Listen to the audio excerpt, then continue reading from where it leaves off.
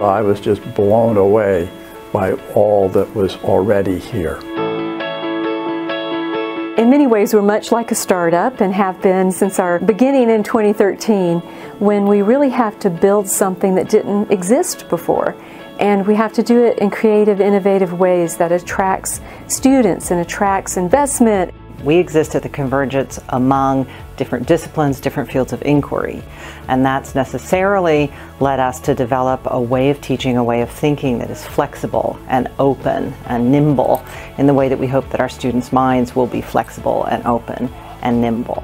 I was absolutely amazed that in less than 10 years, uh, Dean Rhonda Phillips and team had built a national caliber honors program with uh, top faculty, outstanding facilities. But most of all, I met over 50 students in staying here for three full days, and they were just incredible in their enthusiasm, their academic accomplishments already, and their vision of what they could learn here and what they could contribute to the world.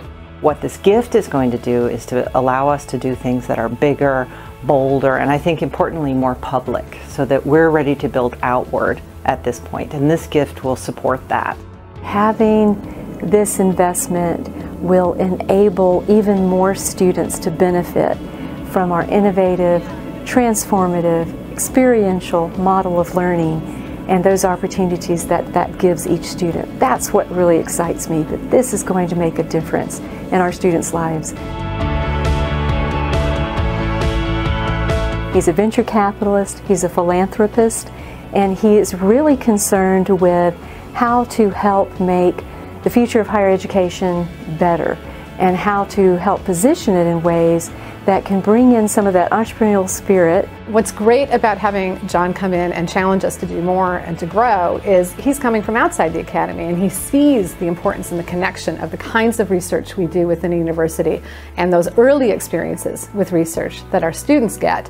And he knows, he knows firsthand how important that is to lifelong satisfaction, lifelong success. I get the opportunity to watch the students develop from the time they enter the university until they're making their exit um, and to be a part of their development. So not just in the classroom, but preparing them as scholars, preparing them as individuals who are interested in engagement and connecting their varied interests in unique ways.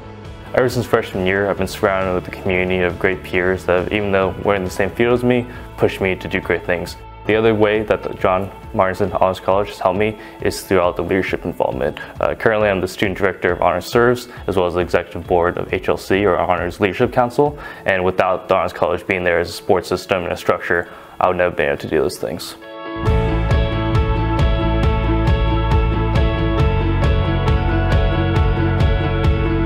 Leadership is going to impact a, a, student's future because we can't accomplish the things that we want to accomplish without other people, and that's just the reality.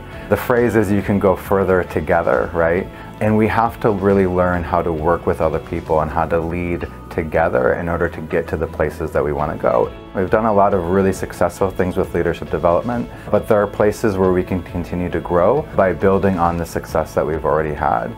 Uh, one of the things I'm particularly excited about is giving students increased opportunities for creating and bringing to fruition their own leadership vision.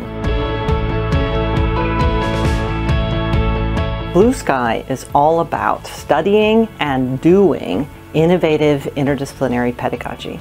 And it's called the Blue Sky because when we were coming up with it, we kept saying to one another, let's have blue sky thinking about this place. What would the wide open kind of thinking about what's possible be? So the idea of the center is to create and study projects that are public, collaborative, interdisciplinary, and that move the Honors College out into new networks.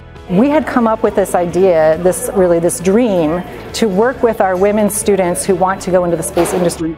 With this gift, we are going to be bringing those students together in leadership and mentorship circles with senior professionals from NASA, with astronauts, from the space industry. What we plan to do with this program is prepare students, you know, not just for their first job, but for their big job.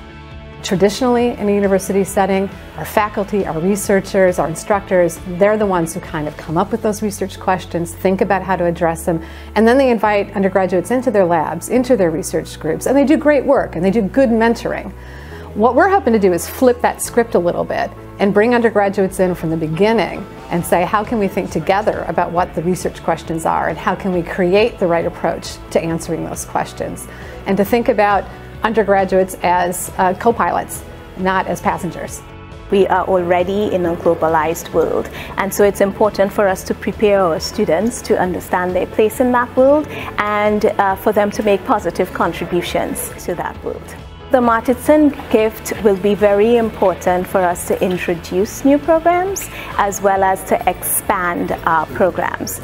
And what we hope to do is to bring the world to campus, send our students into the world so that they can experience different cultural settings, but also to facilitate what we began with intercultural exchanges and meaningful exchanges. We're at a juncture in our growth and development where an investment of this kind can really help take us to the next level.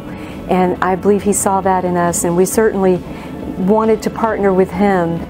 I'm very proud to be associated uh, with anything at Purdue, but especially our uh, top academic learners and all that they're going to accomplish in life. And I'm really proud to be able to uh, support that.